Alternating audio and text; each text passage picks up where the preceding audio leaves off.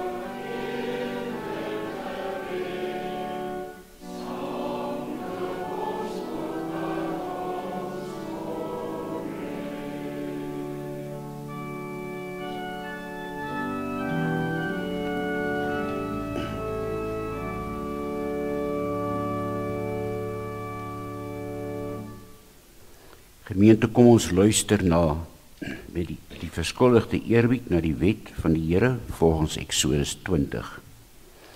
Toe het God al hierdie gebooie aangekondig. Ek is die Here jou God wat jou uit jou Egipte uit die plek van slawerny bevry het. Jy mag naas my geen ander gode hê nie. Jy mag nie vir jou beeld of enige afbeelding maak van wat in die hemel daarbo of op die aarde hieronder of in die water onder die aarde is nie. Jy mag hulle nie vereer of dien nie, want ek die Here jou God, hy's onverdeelde trou aan my. Ek reken kinders die sondes van hulle vaders toe, selfs tot in die derde en die vierde geslag van die wat my haat. Maar ek betoon my liefde aan die tot aan die duisendste geslag van die wat my liefhet en my gebooie gehoorsaam. Jy mag die naam van die Here jou God nie misbruik nie, want die Here sal die een wat sy naam misbruik nie ongestraf laat bly nie. Sorg dat jy die Sabbatdag heilig hou. Ses dae moet jy werk en alles doen wat jy moet, maar die sewende dag is die Sabbat van die Here jou God. Dan mag jy geen werk doen nie, nie jy of jou seun of jou dogter of die man of vrou wat vir jou werk of enige dier van jou of die vreemdeling by jou nie. Die Here het in 6 dae die hemel en alles daarin gemaak. Die aarde en alles daarop, die see en alles daarin. Op die sewende dag het hy gerus en daarom ons dit die Here dit as gereelde rusdag ingeheilig. Eer jou vader en jou moeder, dan sal jy lank bly woon in die land wat die Here jou God vir jou gee. Jy mag nie moord pleeg nie, jy mag nie egbreuk pleeg nie. Jy mag nie steel nie. Jy mag nie vals getuienis teen 'n ander gee nie. Jy mag nie iemand anders se huis begeer nie. Jy mag nie sy vrou begeer nie. Ook nie 'n slaaf of slaafin, 'n besel 'n donkie of enigiets anders wat aan hom behoort nie. Ons staan met ons hele mens weer skuldig voor God. Kom ons bely ons skuld met die sing van Gesang 249 verse 18 9.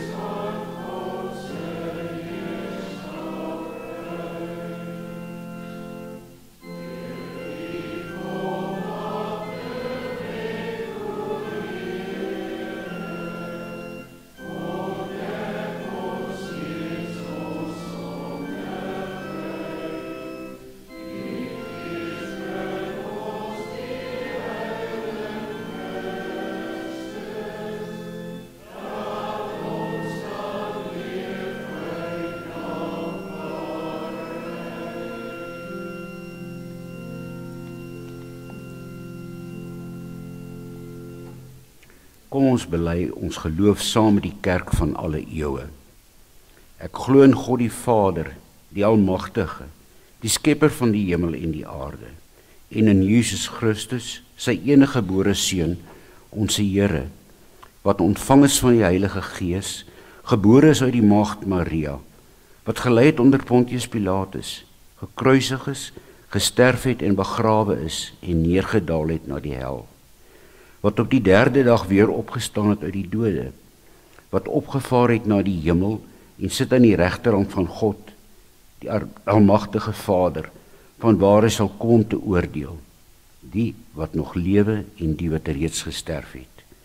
Ek glo in die Heilige Gees ek glo in 'n heilige algemene Christelike kerk die gemeenskap van die heiliges die vergifnis van sondes die opstanding van die vlees en 'n ewige lewe Amen. Kom ons sing nou gesang 432 vers 1.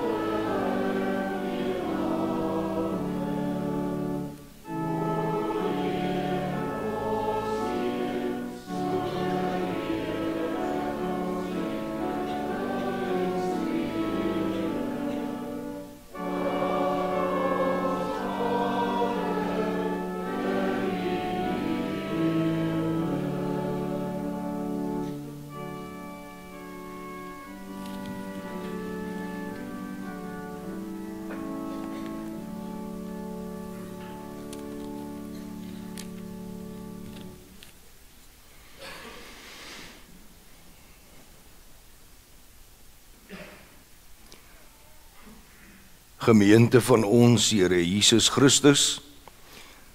Ons skriflesing kom vanoggend uit twee gedeeltes uit die evangelie volgens Johannes.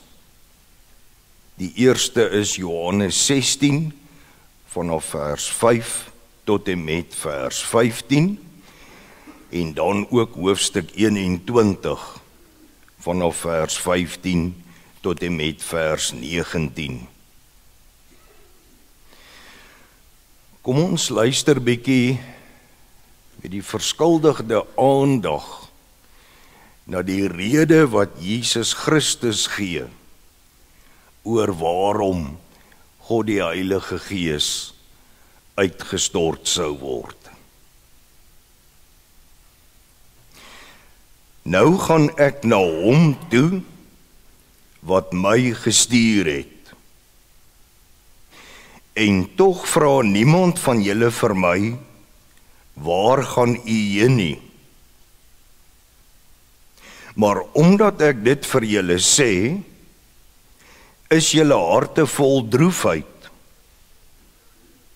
Tog sê ek vir julle die waarheid, naamlik dit is tot julle voordeel dat ek weggaan. Want as ek nie weggaan nie, sal die voorspraak die Heilige Gees nie na julle toe kom nie. Maar as ek gaan, sal ek hom na julle toe stuur. En wanneer hy kom, sal hy bewys dat die wêreld skuldig is aan sonde en dat die reg aan my kant is en dat die oordeel al gekom het. Die wêreld is skuldig aan sonde want die wêreld glo nie in my nie Die reg is aan my kant. Want ek gaan na die Vader toe. En julle sal my nie meer sien nie. Die oordeel het al gekom. Want die owerste van hierdie wêreld is klaar veroordeel.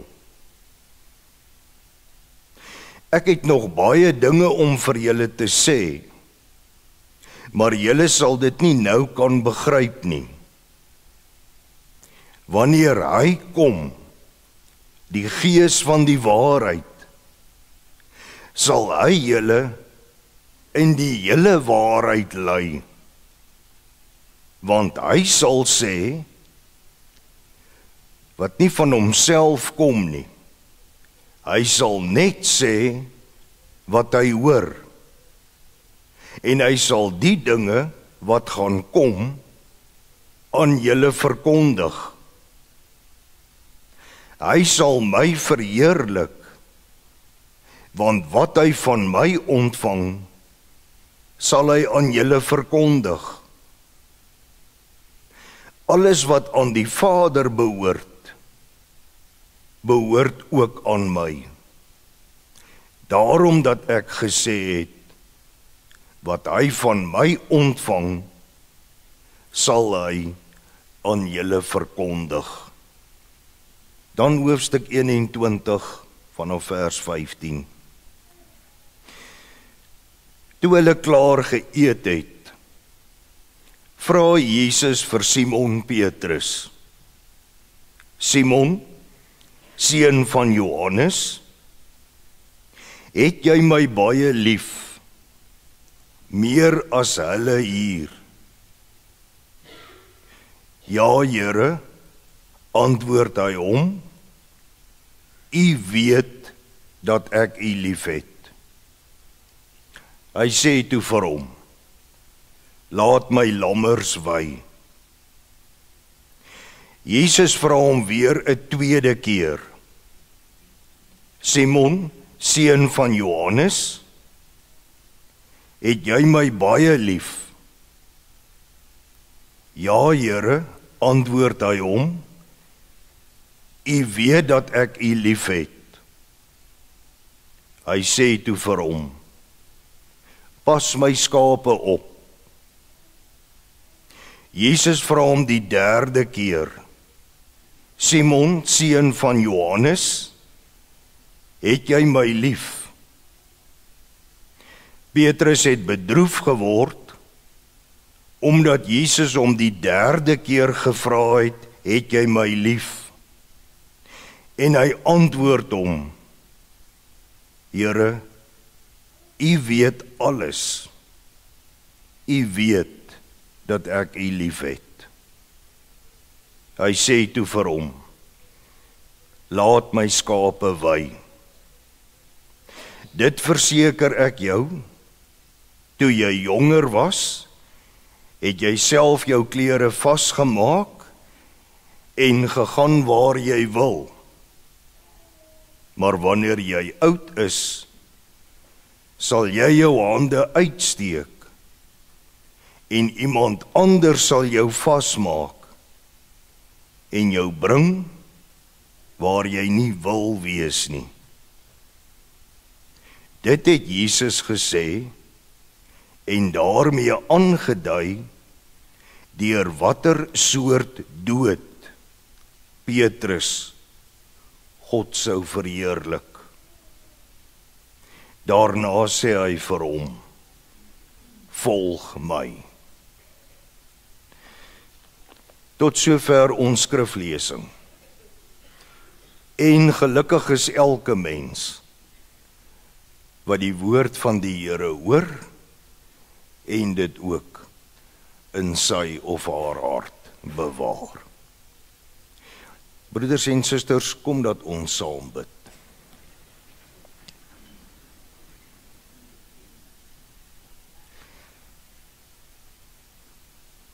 Ons Vader in die hemel, ons bring vanoggend in die besonder ons lof en dank aan u Gees. U Gees wat u op Pinkster na ons gestuur het om ons met die evangelie van Jesus Christus nie te herskep en lewend te hou totdat u seun weer kom. En ons dank u dat juis wanneer ons nou op hierdie oomblik ons voor u verootmoedig in gebed dat dit juis u gees is wat ons nou hiertoe gedring het en vir ons intree. Want ons bely dat uit onsself ons nie kan bid nie. En dat eintlik vanweë ons sondige aard ons geen gebed kan bid om U na reg te loof nie. Here ons God open tog ons verstand en hart dat ons die verlossingswerk van Jesus Christus in ons lewens kan smaak en dat u gees ons daartoe lei dat ons sal ophou om ons lewensvreugde in verganklike goed te soek. En ons eintlik maar so lewensmoeg kwel oor aardse goed. Bring ons dit tog aan die verstand dat ons elkeen op ons lewenstog deur hierdie lewe deur u gees vertroos en besiel word. En Vader, behoede ons tog daarvan dat ons deur eie sinnigheid die werk van u gees sal teestaan. Ons bid dat hy onophoudelik in ons gemeente in u kerk reg oor die hele wêreld sal bly werk. En dat hy ons en elke gelowige diensbaar sal bly maak hier in die erediens maar ook wanneer ons tuis kom gee tog dat u gees ons oor die wonder van die evangelie drome sal laat droom en ver gesigte sal laat sien. Ons bid dit alles in die naam van Jesus Christus. Ons Here en ons verlosser. Amen.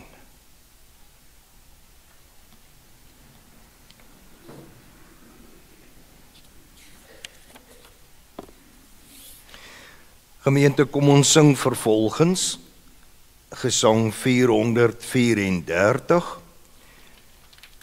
Al drie die strofes. O Heilige Gees, laat ons al meer gehoorsaam word. Gee ons meer liefde vir u woord Laat leef ons uit die groot gebod. Maak ons in liefde eensgesind. Loyaal steeds ook aan mekaar verbind.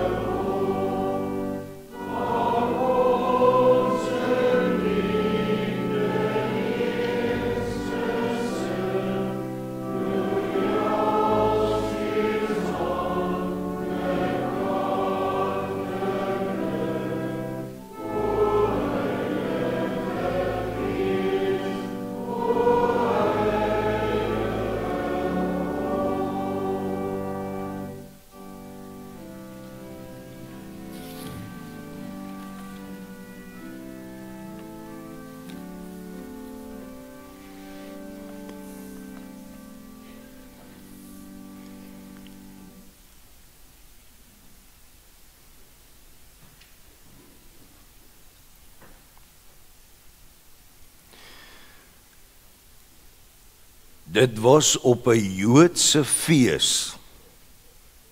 Pinksterdag. Dat God die Heilige Gees uitgestort is.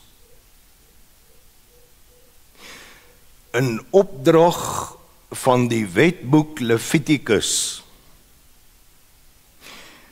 moes die Jode vandat die eerste gerfgars in die tempel as offer gebring is. 7 weke lank oes. 7 sabbate lank. En dan die dag na die 7de sabbat moes die Jode Pinksterfees vier. Dit beteken dus dat hulle die dag net na Sabbatdag op die Sondag wat in daardie tyd nog 'n normale werksdag was moes hulle hulle Pinkster vier. net so terloops. Dit val 'n mens nogal op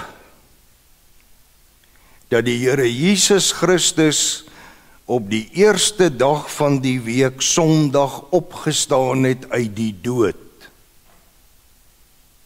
En daarom dat ons ook elke Sondag ons feesdag van die kerk het. Ons vier eintlik elke Sondag Paasfees. En so word God die Heilige Gees dan ook op die eerste dag van die week Sondag uitgestort. 'n Mens mag dan seker maar een keer vir jouself die vraag vra as die Here op die Sondag opgestaan het en God die Heilige Gees is op die Sondag uitgestort, wie sê dat die wederkoms nie ook op 'n Sondag gaan plaasvind? En juis wanneer God se volk in sy erediens teenwoordig is nie dit daar gelaat. Ons lees in Handelinge dat die Heilige Gees wat op Pinksterdag uitgestort is aan die apostels die gawe gegee het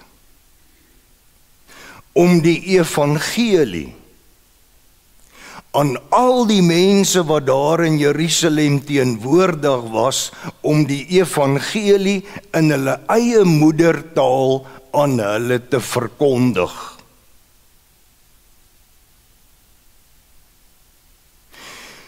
En dan word dit baie opmerklik vir alles 'n mens net een tree teruggee en vra, maar waarmee was die Jode besig op Pinksterdag?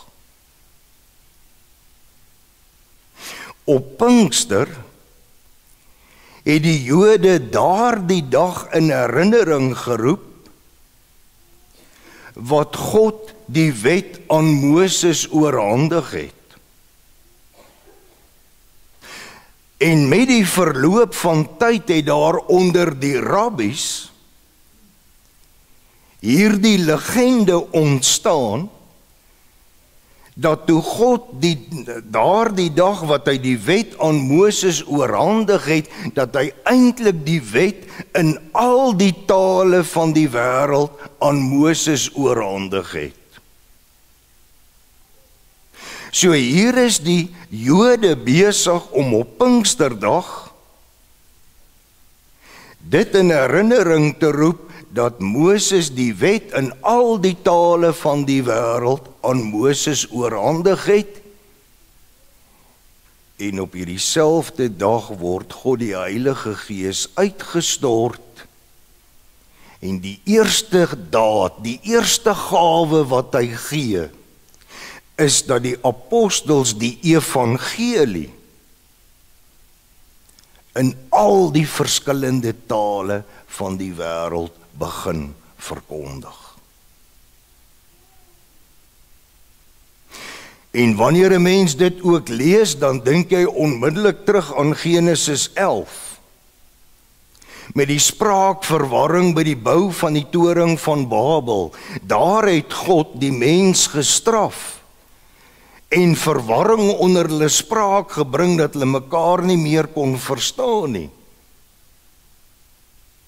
Hier op Pinksterdag kom God die Heilige Gees en hy oorbrug daardie probleem en hy gee aan sy apostels die gawe om aan al hierdie mense Al dink jy ook terug aan Genesis 11 en die straf daar dat al sy apostels in al die verskillende tale die evangelie van Jesus Christus sou aankondig verlossing vir die hele wêreld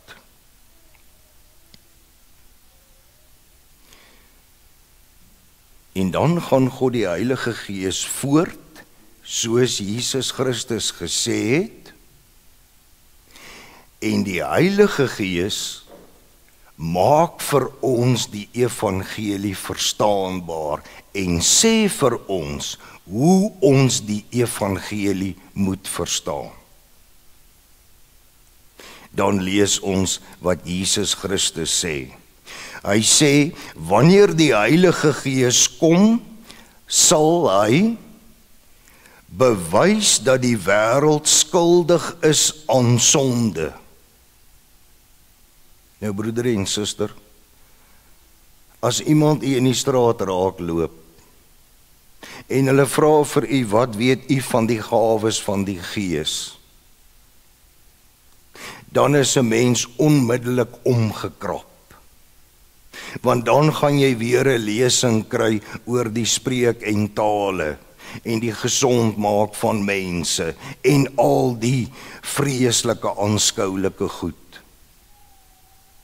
Hier staan as hy kom sal hy bewys dat die wêreld skuldig is aan sonde en dat die reg aan my Christus se kant is en dat die oordeel klaar gevel is.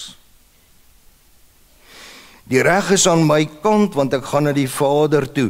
Die Heilige Gees het gekom om oor sonde te praat en hy het gekom om te praat oor die geregtigheid in Jesus Christus en hy het gekom om te sê dat die owerste van hierdie wêreld is klaar geoordeel en die vierde saak is hy sal julle in die waarheid lei hy sal met julle oor dinge praat waaroor ek nog nie met julle gepraat het nie. Kom ons begin by die laaste. Want dit is die punt wat probleme kan veroorsaak Want enige iemand wat vir homself naam wil verwerf kry vir hom 'n kassie en staan en roep die hele wêreld toe en sê God die Heilige Gees het my nou ingelig oor die res van die waarheid en kom luister wat ek vir julle te sê het. Die waarheid waarin God die Heilige Gees sy kerk en elke lidmaat, elke gelowige verder sou lei staan eintlik in die skrif klaar vasgelê. Want God die Heilige Gees en die woord weerspreek mekaar nie. Want God die Heilige Gees het die kerk, die gelowiges so gelei dat die woord van God vasgestel word soos dit is. En ons begin lees van hierdie leiding van die Heilige Gees oor sy kerk in Handelinge hoofstuk 15. Daar vind die eerste kerkvergadering plaas waarvan ons in die geskiedenis lees.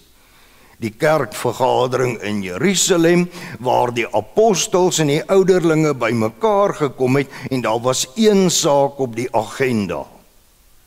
Die vraag was: as heidene hulle tot die Christendom bekeer het, dan word hulle gedoop, maar moet hulle ook besny word boonop. Dit was die saak op die agenda.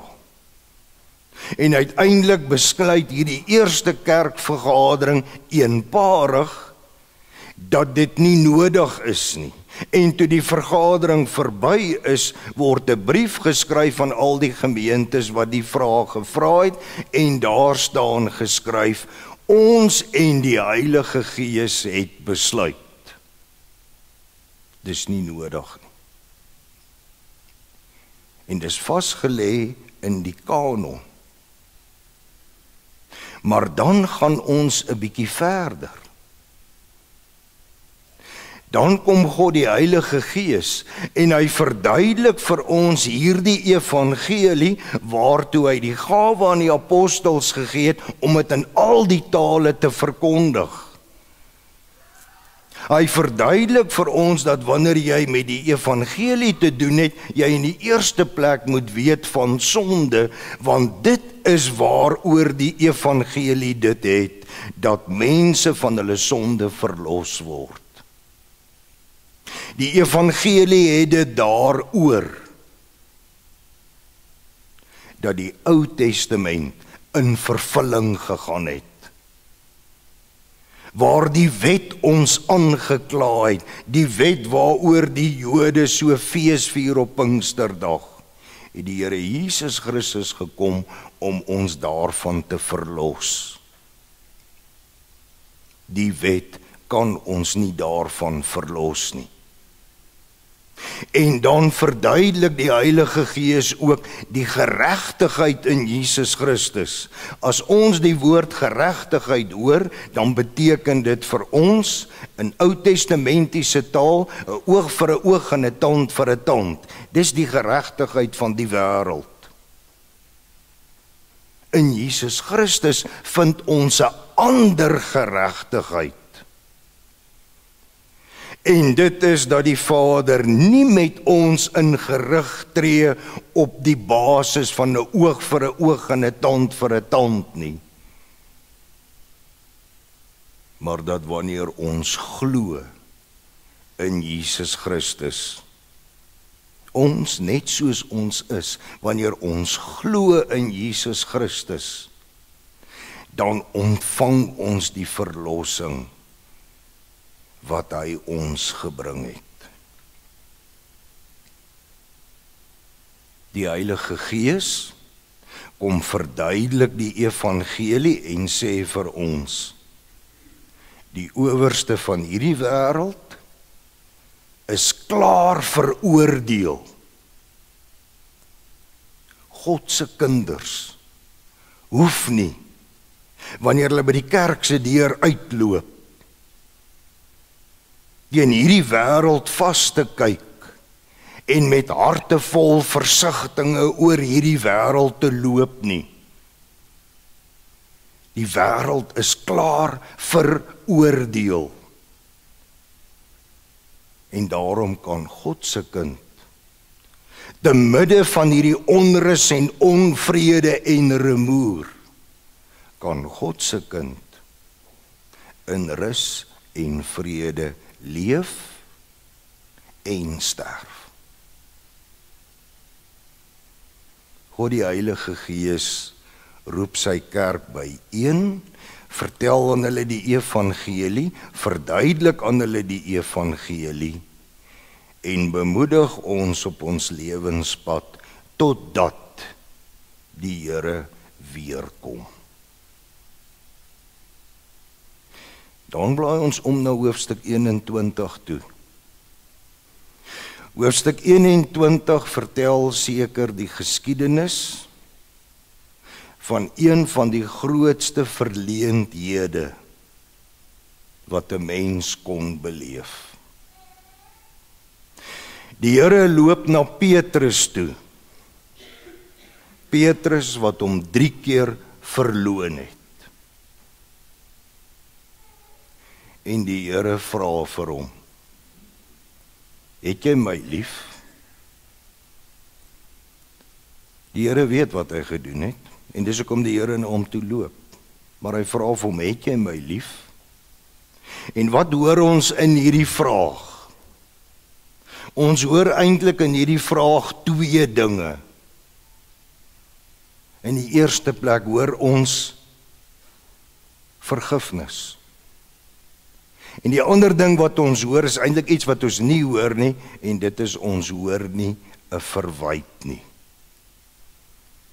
Die Here vra vir hom: "Het jy my lief?" Petrus sê: "Ja." want u weet alles en toe sê hy vir hom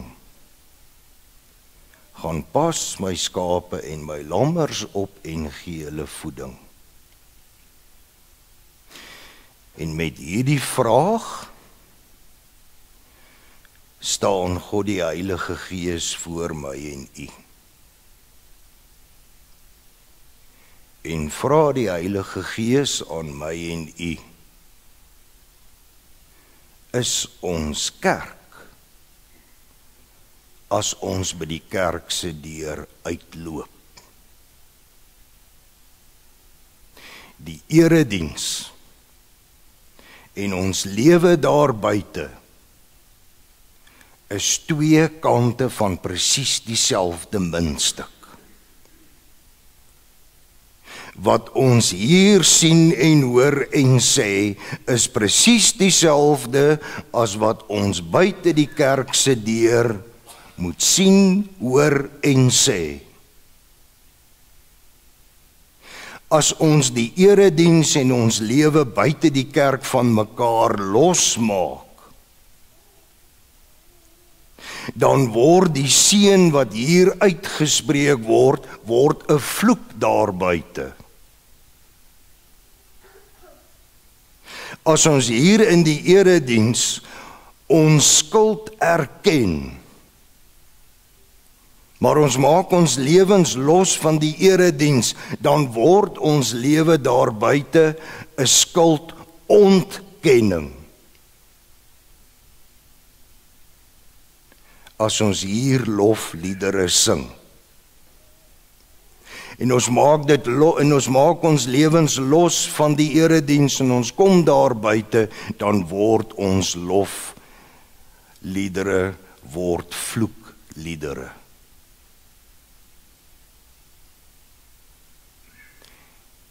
het jy my werklik lief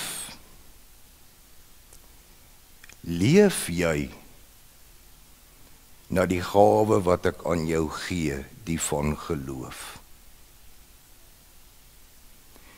sien jou vrou, sien jou man, sien jou kinders by jou en hoor hulle by jou erediens.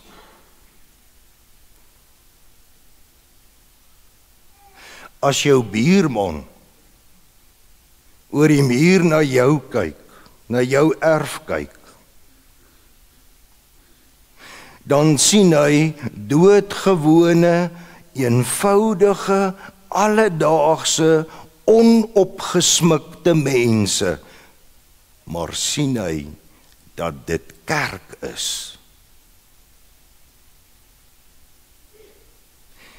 Dis die vraag waarmee God die Heilige Gees voor my en u staan en dit is waarin hy ons wil lei om dood eenvoudige mense net soos ons is in geloof te laat groei. Mag die Gees tog tydig en ontydig in ons harte kom woon. tot ons redding en tot eer van die Here. Amen.